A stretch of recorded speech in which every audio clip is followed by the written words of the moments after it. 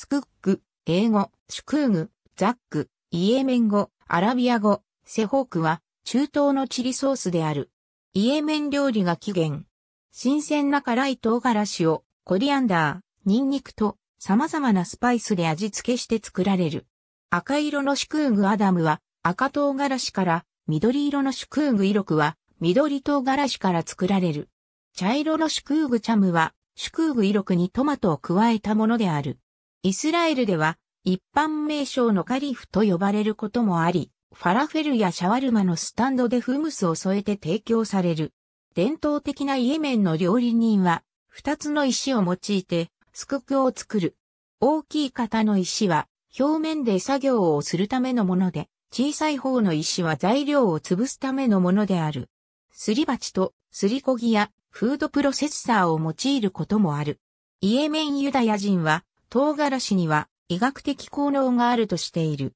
イエメンユダヤ人の伝承によると、彼らはトマトとフェヌグリークと唐辛子だけで大きな飢饉を生き抜いたと伝えられる。また別の伝承によると、重篤な伝染病がイエメンを襲ったが、その食料のためにユダヤ教徒は回避できたとされる。唐辛子は体の病気への抵抗力を高め、生命力を向上させ、消化を助け、腸の寄生虫を防ぐと信じられている。ありがとうございます。